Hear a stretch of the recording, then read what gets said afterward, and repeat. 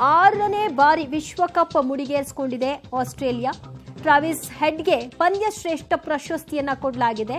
ಶತಕವನ್ನ ದಾಟಿಸೋ ಮೂಲಕವಾಗಿ ಆ ಪಂದ್ಯದ ಗೆಲುವಿಗೆ ಕಾರಣರಾದರು ವಿರಾಟ್ ಕೊಹ್ಲಿಗೆ ಸರಣಿ ಶ್ರೇಷ್ಠ ಪ್ರಶಸ್ತಿ ದಕ್ಕಿದೆ. ಆರನೇ ಬಾರಿಗೆ ವಿಶ್ವಕಪ್ ಮುಡಿಗೇರಿಸಿಕೊಂಡಂತಹ ಆಸ್ಟ್ರೇಲಿಯಾ ತಂಡ. ಆಸ್ಟ್ರೇಲಿಯಾ ಇಲ್ಲಿಯವರೆಗೂ ಏಳು ವಿಶ್ವಕಪ್ ಫೈನಲ್ನಲ್ಲಿ ಐದು ಗೆದ್ದಿತ್ತು. ಈಗ ಇದೊಂದು ಆರನೇದಾಯಿತು. ಈ ಸಲ ಭಾರತ ಹೆಚ್ಚು ಬಲಿಷ್ಠವಾಗಿದೆ ಅನ್ನುವಂತಹ ಅಭಿಪ್ರಾಯಗಳು ಕೂಡ ಕೇಳಿಬರ್ತಾ ಇತ್ತು. At the same time Australia ಕೂಡ ಅಷ್ಟೇ ಬಲಿಷ್ಠವಾಗಿ ಕೂಡ ಆಟವನ್ನು ಆಡ್ತಾ ಬಂತು. ಭಾರತ ಹಾಗೂ ಆಸ್ಟ್ರೇಲಿಯಾ ಹಾಲಿ ಈ ಒಂದು ಸ್ಟಾರ್ಟ್ ಮಾಡಿದಂತಹ ಒಂದು ಹಾಲಿ ಆವೃತ್ತಿಯಲ್ಲಿ ಅವರಿಬ್ಬರು ಕೂಡ ಮೊದಲ ಪ್ರದರ್ಶನವನ್ನು ಕೊಟ್ಟರು ಆಗ ಭಾರತ ಆಸ್ಟ್ರೇಲಿಯಾನ ಎದುರಿಸುವ ಮೂಲಕವಾಗಿ ಗೆಲುವನ್ನು ದಾಖಲು ಮಾಡ್ತು.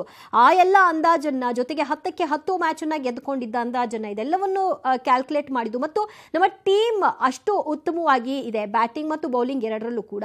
ಮತ್ತು ಆ ಟೀಮ್ನ ಸ್ಫೂರ್ತಿ ಏನಿದೆ, ಒಬ್ರಿಗೊಬ್ರು ಎನ್ಕರೇಜ್ ಮಾಡಿಕೊಂಡು ತಾಳ್ಮೆಯಿಂದ ಆಟವಾಡಿ ಗೆಲುವನ್ನು ದಾಖಲು ಮಾಡೋದು ಇದೆಲ್ಲವೂ ಕೂಡ ಪ್ಲಸ್ ಪಾಯಿಂಟ್ ಆಗಿ ಭಾರತೀಯ ಗೆಲುವಿಗೆ ಕಾರಣವಾಗಬಹುದು ಅಂತ ಲೆಕ್ಕಿಸಲಾಗ್ತಾ ಇತ್ತು. ಅದು ಯಾವುದು ಕೂಡ ವರ್ಕೌಟ್ ಆಗಲಿಲ್ಲ.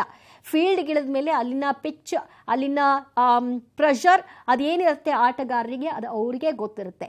ಸೊ ಈ ಸೋಲು ಸೋಲಷ್ಟೇ. ಇದನ್ನ ಹಾಗೆ ನೋಡಬೇಕು. ಒಂದು ಕ್ರೀಡೆಯನ್ನ ಕ್ರೀಡೆಯಾಗೆ ನೋಡಬೇಕು. ನಿರ್ಣಾಯಕ ಪಂದ್ಯದಲ್ಲಿ ಮಿಂಚದಂತಹ ಗಿಲ್ ಶ್ರೇಯಸ್ ಸೂರ್ಯಕುಮಾರ್ ಅವರ ಮೇಲೆ ತುಂಬಾನೇ ಹೋಪ್ಸ್ ಇತ್ತು. ಅವರು ತಂಡಕ್ಕೆ ಸಹಕಾರಿ ಆಗಬಹುದು ಅಂತ ಅದು ಸಾಧ್ಯವಾಗಲಿಲ್ಲ. ಎಂದಿನ ಶೈಲಿ ಮರೆತು ನಿಧಾನಗತಿಯ ಆಟಕ್ಕೆ ಭಾರತ ತಂಡ ಮುಂದಾಗಿದ್ದು ಬಹಳ ನಿರಾಸೆಯನ್ನ ಮೂಡಿಸಿರುವಂಥದ್ದು. ಅದೇ ಈ ಸೋಲಿಗೆ ಕಾರಣ ಅಂತ ಕೂಡ ಅಂದಾಜಿಸಲಾಗ್ತದೆ.